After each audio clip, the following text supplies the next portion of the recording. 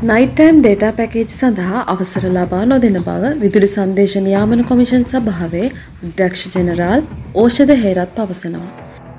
ඒ අනුව නයිටම් ඩේටා පැකේජයට සඳහන් කරන්නේ තමන් ලබාගන්නා ඩේටා පැකේජයට නොමිලේ ලබා දෙන ඩේටා ප්‍රමාණය බවයි ඔහු සඳහන් කළේ.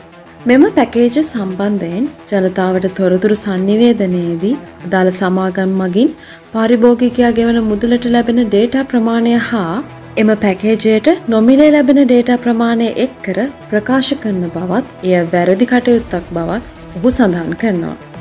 ඒ හේතුවෙන් පාරිභෝගිකයන් නොමග යන බවයි ඔහු ප්‍රකාශ කළේ. රතුපාට සබස්ක්‍රයිබ් බට්න එක ප්‍රෙස් කරලා ඉඩ හැපැති තින බෙල්ලයිකන එක කලික් කරන්න අමතක් කරන්නත් එපා මේ වටිනා වීඩියෝ එක ඔයාලගේ යාලුවොත් එක්ක ෂයා කරන්න අනිවාරයෙන්ම මතක තබා ගන්න තවත් මේ වගේම වැදගත් වීඩියෝකින් අපි නැවතත් හම්.